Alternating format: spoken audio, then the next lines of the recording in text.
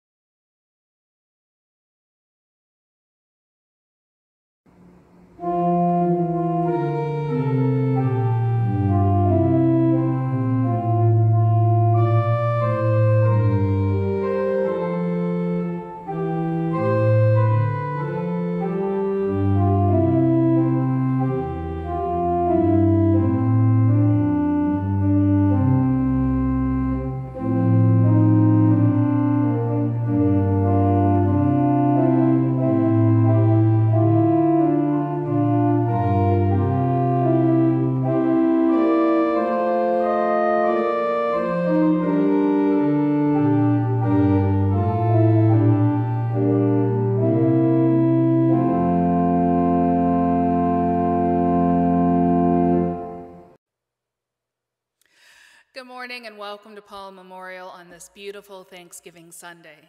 We're so glad you could join us, and we have a few announcements of events that are going on in the life of the church.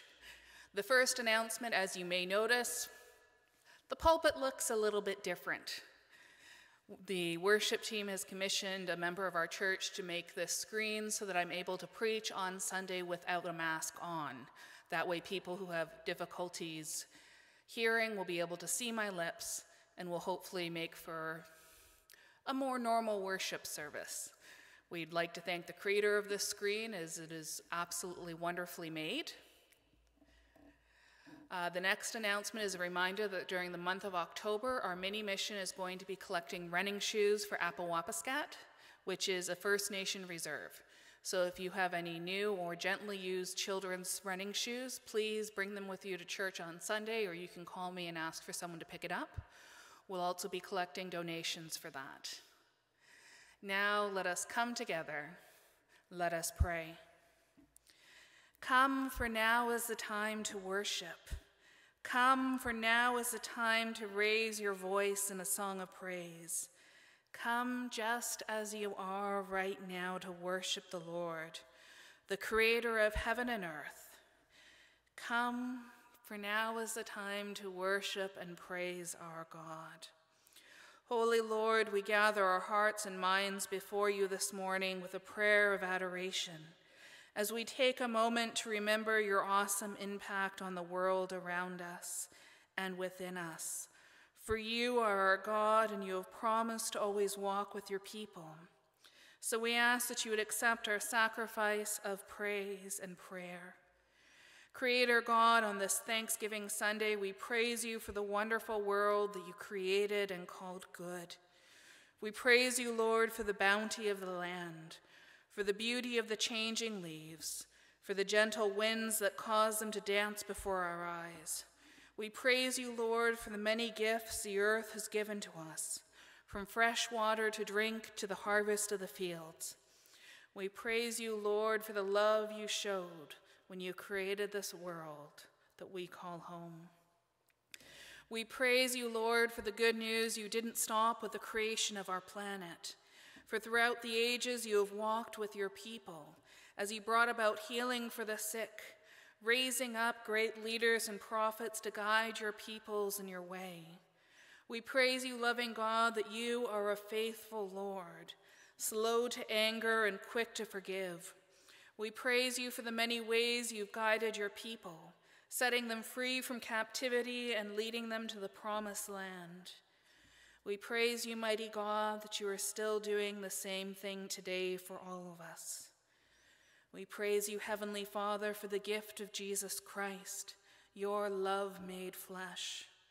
We praise you, Lord, that out of love Jesus became one of us, so we could always know that you were with us. We praise you for the many teachings of Jesus that open our eyes to see the coming kingdom of heaven. And we praise you, mighty God, for the gift of Jesus, that he loved us so much he was willing to go as far as the cross and the grave for our sake so that our sins could be forgiven and we could be brought back into a right relationship with you, our Heavenly Father. For we know the grave cannot contain the Lord of everlasting life. And because Jesus lives, so too shall all of his people. For all these things and so much more, loving God, we joyfully lift up to you our prayers of adoration, as together with one voice we say, Our Father, who art in heaven, hallowed be thy name. Thy kingdom come, thy will be done, on earth as it is in heaven. Give us this day our daily bread, and forgive us our debts, as we forgive our debtors. And lead us not into temptation, but deliver us from evil. For thine is the kingdom, the power, and the glory forever and ever. Amen.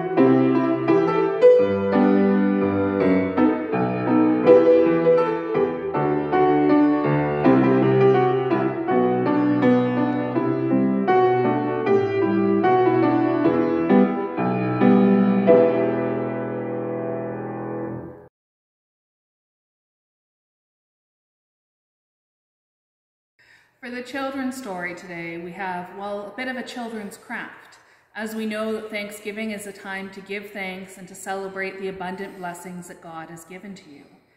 And so I'd like to invite slash challenge everyone to create their own Thanksgiving wreath, because there are many reasons for us to give thanks, from the food we have to eat, for the ability to go to school and learn, to the ability to come and worship without fear. So the challenge is, on Thanksgiving dinner, I invite the kids to cut out leaves in colored paper, and on them write, I am thankful for. And this way you can invite everyone to write one thing they're thankful for, and you can include it in your grace for that day. I am thankful for the day off school. I am thankful for being with my family. Or as most kids might say, I'm thankful for video games. But together we can celebrate the wonderful things we're thankful for to be this weekend, but also every other day, because God gives us an abundant bounty of blessings.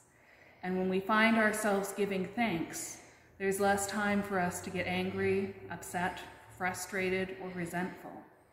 And so I invite you to make this a whole weekend of Thanksgiving. And once you've written down and given thanks to the Lord what you're thankful for, Put it together in a wreath and let it hang in your house to remind you how God calls you to be a thankful person. Thanks be to God. Amen.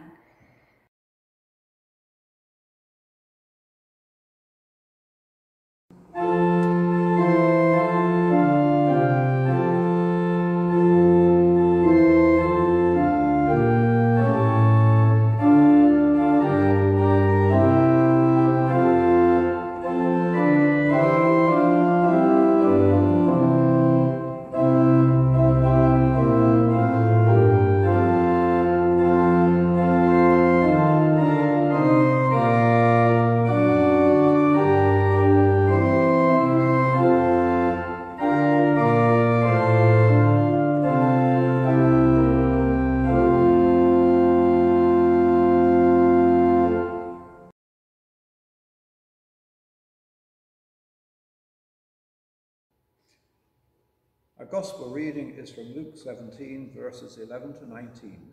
Jesus heals ten men with leprosy. Now, on his way to Jerusalem, Jesus travelled along the border between Samaria and Galilee. As he was going to a village, ten men who had leprosy met him. They stood at a distance and called out in a loud voice, Jesus, Master, have pity on us. When he saw them, he said, Go show yourselves to the priests. And as they went, they were cleansed. One of them, when he saw he was healed, came back, praising God in a loud voice. He threw himself at Jesus' feet and thanked him, and he was a Samaritan. Jesus asked, Were not all ten cleansed? Where are the other nine? Has no one returned to give praise to God except this foreigner? Then he said to him, Rise and go, your faith has made you well. Then our Old Testament reading is from Deuteronomy chapter 8, 7 to 18. For the Lord your God is bringing you into a good land, a land with brooks, streams, and deep springs gushing out into the valleys and hills, a land with wheat and barley, vines and fig trees, pomegranates, olive oil, and honey, a land where bread will not be scarce, and you will lack nothing, a land where the rocks are iron, and you can dig copper out of the hills. When you have eaten and are satisfied, praise the Lord your God for the good land he has given you. Be careful that you do not forget the Lord your God, failing to observe his commands, his laws, and his decrees that I am giving you this day. Otherwise, when you eat and are satisfied, when you build fine houses and settle down, and when your herds and flocks grow large, and your silver and gold increase, and all you have is multiplied, then your heart will become proud, and you will forget the Lord your God who brought you out of Egypt, out of the land of slavery. He led you through the vast and dreadful wilderness, that thirsty and waterless land with its venomous snakes and scorpions. He brought you water out of hard rock. He gave you manna to eat in the wilderness, something your ancestors had never known, to humble and test you, so that in the end it might go well with you. You may say to yourself, My power and the strength of my hands have produced this wealth for me. But remember, the Lord your God, for it is he who gives you the ability to produce wealth, and so confirms his covenant, which he swore to your ancestors, as it is today. May God bless this reading of his holy word.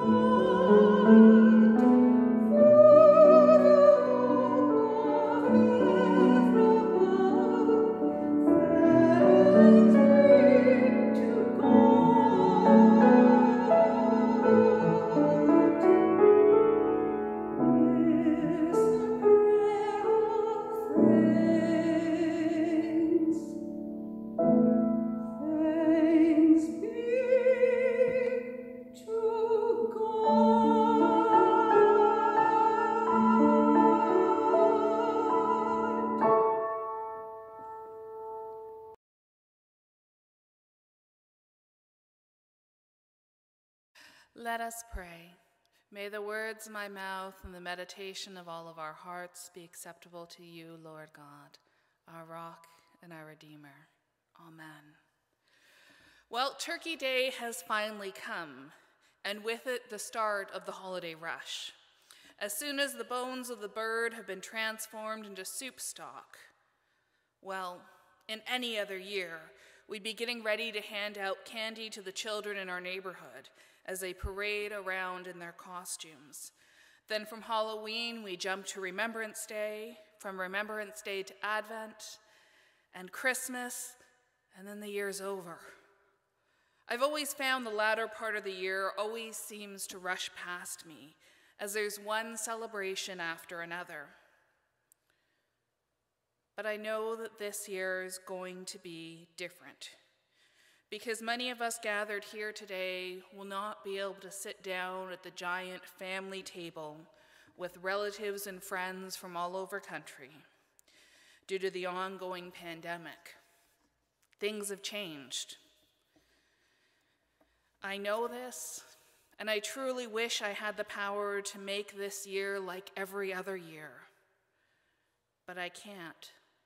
So, all that you and I can do is pray for those who are seeking a cure and a vaccine, and pray that this time next year we'll have something else to be thankful for as we gather together as one family and share the feast of the harvest. In many ways, this year will be different than all other years before it. But there's one thing that remains the same pandemic or no pandemic that this is a weekend when we're called by our God to stop and give thanks. Thanks for the fruit of the field that's on our table.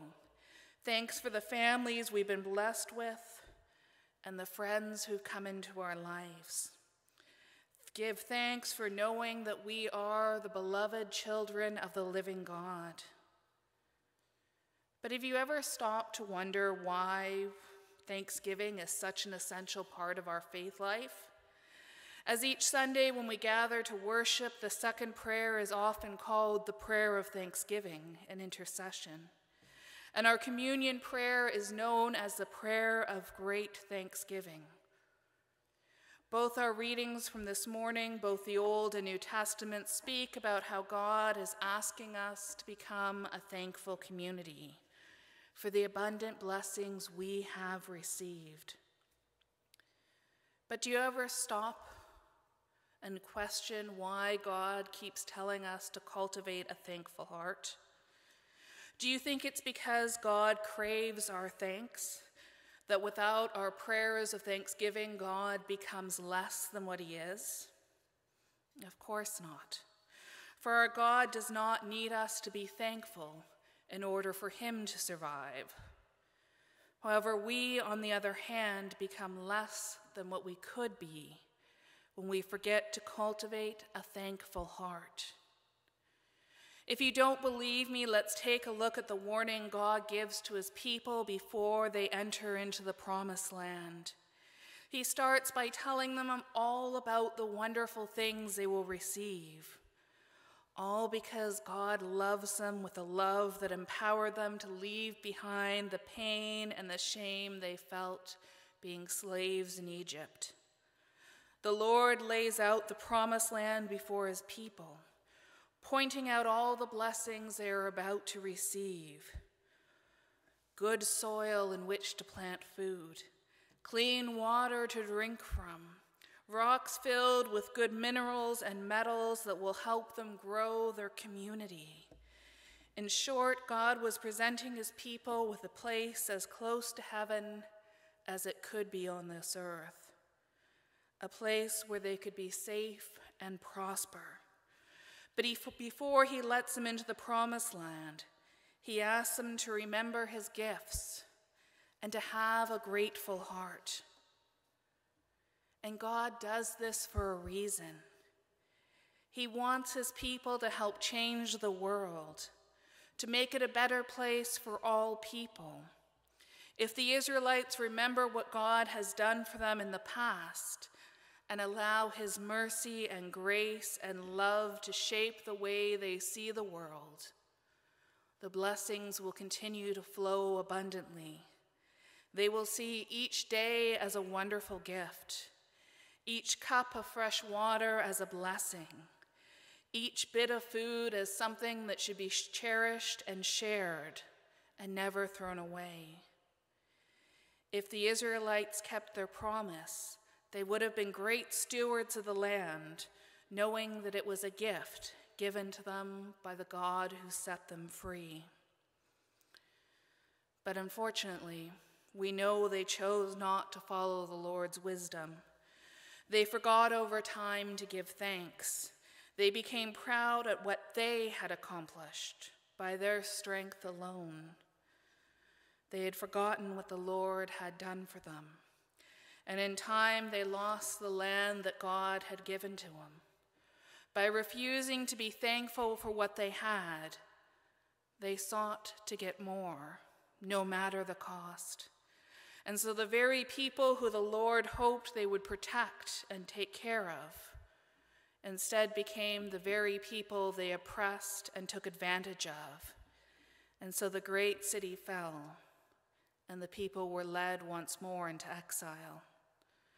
They lost what they once had because without thanksgiving in their heart, they lost sight of who they were meant to be and fell into the same habits of those who once held them captive. And so the Lord sent them away. We see something similar happening in our New Testament reading as Jesus heals the ten lepers. And no, Jesus doesn't rescind his healing grace when the nine never come back to give thanks. But how long do you think their sense of joy at being healed would last without having thanks in their heart? A day, a week, a year or two? Without stopping to give thanks, this group of men run the risk of forgetting what God has done in their lives. They might fool themselves into thinking that it was because of their actions they were saved. And this would have an effect on their relationship with the Lord. Or worse, they could start getting angry at the Lord for not healing them sooner. After all, some of them probably were sick for many years. And without thanksgiving, anger and frustration grow. How long before they would start muttering to themselves, Why did it take God so long to reach out his hand to save them? If he was going to do it, he should have come and done it sooner, so they wouldn't have missed out so much. Luke never tells us about what happened to the healed men who did not give thanks, but it's easy to imagine what happened so long ago because our world today is full of people who refuse to be thankful for what they've been given. Some things are rather petty, such as you offering up a good used couch free to someone who's willing to come and pick it up, only to have a person call and complain that you should either deliver it yourself or give them money to move your junk that they're going to use. Other times it can become more dangerous as people feel they're entitled to more than they need just because of who they are. And so they take everything, not caring that it might mean there's not enough for everyone else. What often comes to my mind when I think about these people is Scrooge, long before he had his visit with the three ghosts of Christmas. He seems to have everything he wants or needs and yet he's not happy. He's miserly and miserable and joyless, and it takes some strong, almost divine intervention to see a change of heart in the old man. Does this sound like the type of person our God wants us to be? Someone who's angry at the world, always trying to take everything, no matter the cost. I don't think that's what God imagined of his people when he invited them to change the world for the better. Because that's what our Heavenly Father has invited all of us to do with our lives to transform our world day by day, to make it a bit more like heaven than to keep the earth as it is now. And the only way we're able to do this is to follow God's advice, to seek to keep humbly, humbly offering up our prayers of thanksgiving to the Lord in our worship, in our prayers, and around our dining table. To give thanks for those around us who make our days better than the one before. Each and every one of us is called by our Lord to live a life full of thanksgiving, to let people around us know that we appreciate everything that they do to acknowledge that we've been blessed with a land of plenty and that we should treat this land as a gift, not something we take advantage of just because we can. Our God invites us to give thanks so that the negative things in this world cannot overwhelm us and consume us and make us more negative. Our God invites us to give thanks so that we can help heal up this broken world, bind up broken hearts, build up communities of God's people. We're called to be thankful so that one day heaven and earth will be as one. And so, this is my prayer for all of us this day that we seek to give thanks to the Lord and to each other this day and all of our tomorrows, as we seek to grow to become more like the one who came back to give thanks than the other nine who forgot. For this is the good life that our Heavenly Father wants for all of His beloved people. Thanks be to God. Amen.